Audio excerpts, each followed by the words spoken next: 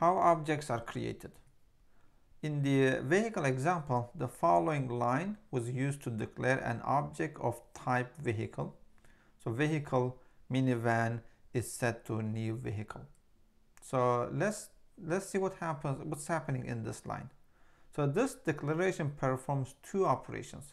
First, it declares a variable named minivan. And this is done first. Second, uh, declaration creates a physical copy of the object. And the new operator here dynamically allocates memory for an object and returns a reference to it.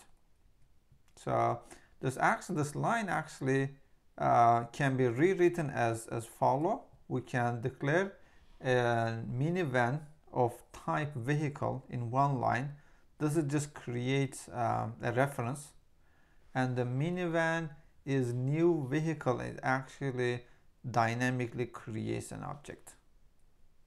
So how reference variables work? Uh, the local variables car and minivan refers to different objects.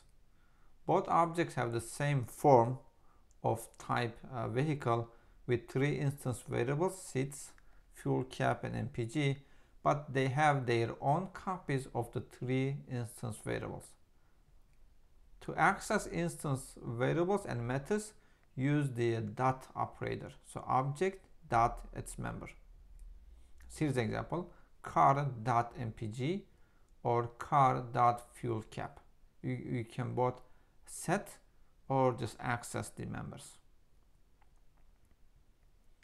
So vehicle car 1 uh, is new vehicle. So when you do this you assign vehicle uh,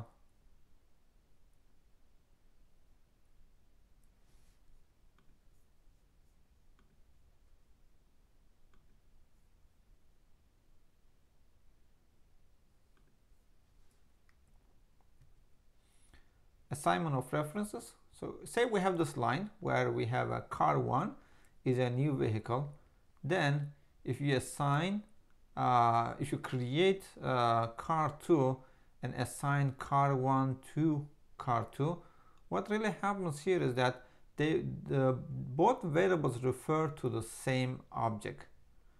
In that case if you change an instance variable's value in car 2 you will change the value in car 1 as well since they refer to the same object